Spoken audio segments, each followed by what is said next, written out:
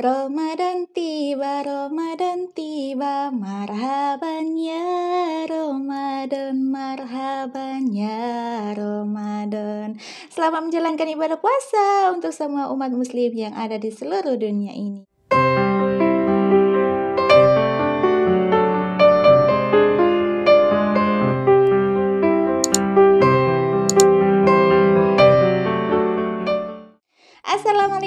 Hai guys, welcome back to my channel. Selamat datang kembali di channel Maci. Kejap, kejap, kejap, kejap, kejap, kejap. Ah, macam tuh Hai semuanya sahabat online family Maci Yang ada di seluruh penjuru dunia ini Yang ada di Indonesia, Malaysia, Singapura, Brunei. Semuanya, semuanya itu apa kabar Anda semua guys?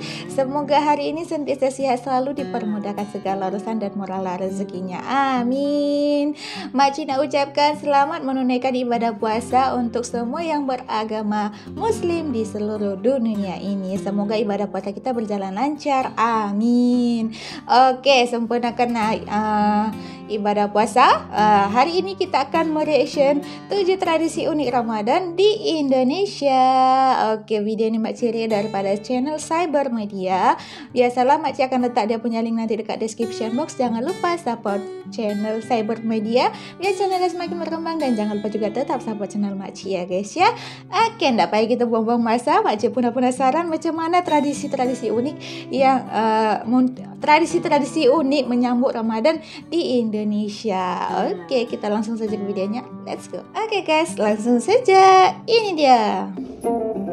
7 tradisi unik Ramadan di Indonesia. Oke, okay, 7 tradisi Halo unik. Halo Fakta, jumpa lagi bersama Cyber X Media. Halo. Di video kali ini, kita akan membahas 7 tradisi unik di Indonesia saat menjelang bulan suci Ramadan. Oke. Seperti yang kalian ketahui, Indonesia Ramadan. merupakan negara kesatuan dengan beraneka ragam adat budaya dan tradisinya. Ya, betul. Setiap suku atau wilayah di Indonesia pastinya memiliki tradisi unik yang diajarkan turun-temurun dan dijaga kelestariannya. Hmm. Mulai dari zaman nenek moyang hingga saat sekarang ini. Oke. Okay. Salah satu tradisi tersebut ialah tradisi menyambut datangnya bulan suci Ramadan. Ah. Mengingat mayoritas agama yang ada di Indonesia adalah agama Islam. Yeah.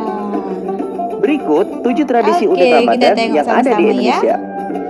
Tradisi unik menyambut bulan suci Ramadan. Padusan dari Jawa Tengah oh. dan Yogyakarta. Padusan Jawa Jateng Jogja dan Jogja. Memasuki bulan Ramadan, Padusan. umat Islam bukan hanya melakukan persiapan fisik untuk menjalani ibadah puasa, okay. tetapi juga persiapan batin dan menyucikan diri. Hmm. Salah satu tradisi menyucikan diri tersebut ialah padusan. Oh, Tradisi padusan, ini umumnya padusan. dilakukan oleh masyarakat Jawa Tengah dan Yogyakarta. Oh.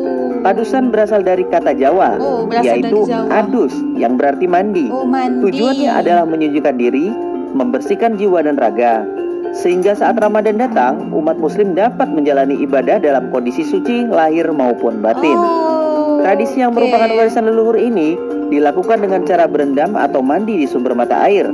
Saat ini, kebanyakan kegiatan padusan dilakukan secara beramai-ramai, bahkan menarik perhatian wisatawan baik domestik maupun mancanegara. Oh, mandi ya, padusan itu mandi. Bakar batu, Papua. Oh, bakar batu Papua. Di Papua, seperti di Jayapura, umat muslim menyambut Ramadan dengan tradisi bakar batu. Oh. Disebut bakar batu karena batu dibakar hingga panas, lalu ditumpuklah bahan makanan seperti daging ayam, kambing, sapi, dan umbi-umbian. Tumpukan makanan ini kemudian ditutup lagi dengan batu panas hingga matang. Tradisi bakar batu dilakukan sebagai bagian dari kegiatan silaturahmi dan saling memaafkan sebelum Ramadan tiba. Oh, unik ya. Oh, baru tahu ada macam itu. Malamang, Sumatera, Sumatera Barat. Barat. Oh, Malamang. Malamang itu apa ya? Malamang merupakan tradisi di Sumatera Barat yang dilakukan dengan memasak lemang yang terbuat oh, dari penggabungan antara beras ketan putih dan santan yang dimasukkan ke dalam bambu. Okay. Tradisi ini bertujuan sebagai sarana berkumpul dan mempererat tali silaturahmi sambil menyambut datangnya bulan suci Ramadan. Oh, Malamang harus ya? dikerjakan oleh banyak orang. Pasalnya, ada beberapa langkah yang harus dilakukan, seperti mencari bambu sebagai tempat adonan lemang, mencari kayu bakar untuk memanggang lemang, serta mempersiapkan bahan pembuatan lemang. Jadi, diperlukan kerja sama dalam proses membuat lemang ini. Hmm. Bukan senang membuat lemang ya, guys. Makanya saja yang senang membuatnya susah. Nyorok Betawi. Nyorok. Nyorok adalah tradisi masyarakat Betawi yang dilakukan dalam rangka menyambut bulan suci Ramadan. Nyorok dilakukan dengan membagikan berbagai bingkisan seperti sembako, oh, ikan bandeng, dan daging bingkisan. kerbau kepada sanak keluarga. Bingkisan nyorok biasanya juga merupakan makanan khas Betawi seperti sayur gabus pacung. Tujuan dari nyorok adalah untuk mengingat bahwa bulan iya, Ramadan akan segera datang dan Ramadan merupakan ajang untuk saling silaturahmi. Oke. Okay. Dukderan Semarang Duk, dukderan merupakan tradisi unik menjelang Ramadan dari Semarang, Jawa Tengah. Oh, di orang lukis. Upacara ini ya? merupakan perpaduan tiga etnis yang mendominasi masyarakat Semarang, oh, yakni Jawa, Tionghoa, dan Arab.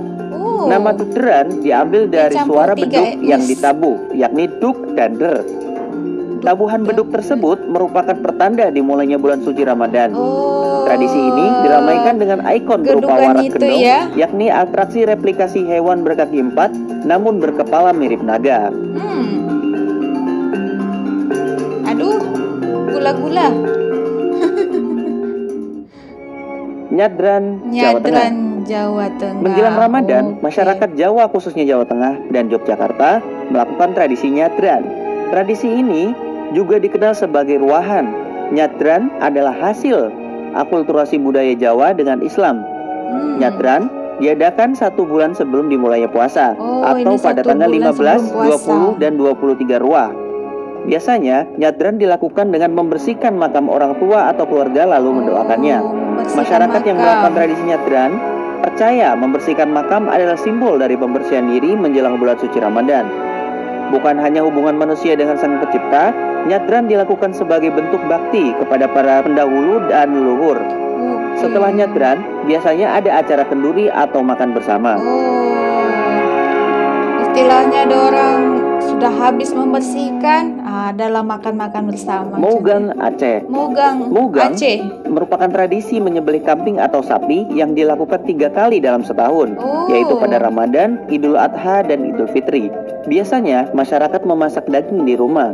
Setelah itu membawanya ke masjid untuk makan bersama keluarga, kerabat, tetangga, atau yatim piatu. Oh. Masyarakat Aceh percaya bahwa nafkah yang dicari selama 11 bulan wajib disyukuri dalam bentuk tradisi megang.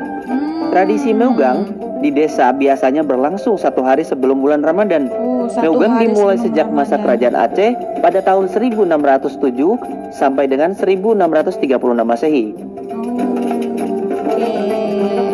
macam-macam ya guys ya tradisi-tradisi nah, unik itulah ya. Itulah beberapa tradisi unik saat menyambut Ramadan yang dilestarikan secara turun-temurun di Indonesia. Oke. Selain dari beberapa tradisi tadi, masih banyak lagi tradisi-tradisi Ramadan lainnya yang tak kalah unik. Oh, betul, betul. Dari itu, mari kita lestarikan adat dan budaya kita agar Indonesia menjadi negara persatuan yang kokoh dan tak tergoyahkan. Terima kasih sudah menonton. Salam fakta. Terima kasih. Nah guys itulah tadi kita sudah tengok uh, tujuh tradisi unik Ramadan menyambut bulan suci Ramadan di Indonesia. Selain daripada tujuh itu masih banyak lagi ya guys ya tradisi-tradisi unik yang ada di Indonesia. Uh, ya nanti boleh kita cari-cari lagi ya. Tapi makcik terdapat video ni inilah yang makcik tengok. Uh, mungkin di daerah kalian ada tradisi unik-unik lain seperti yang lain-lain lagi da lain daripada video ni bolehlah komen sebanyak-banyaknya di dekat ruang komen. Ah di tradi tradisi apa apa di daerah kalian uh, untuk menyambut bulan suci Ramadan? Boleh di komen ya guys ya. Uh, macam-macam tradisi ya. Oke lah itulah dulu video untuk hari ini. Makcik harap semuanya suka dengan video makcik, terhibur dengan video makcik dan makcik sekali lagi ucapkan selamat menunaikan ibadah puasa. Semoga ibadah puasanya berjalan dengan lancar. Amin. Sampai di setelah video kita. Minta maaf di atas segala kekurangan video makcik. Minta maaf di atas segala tutur kata dan uh, bahasa yang silap dalam video makcik ya guys ya. Dan jumpa lagi di next video. Bye bye. Assalamualaikum.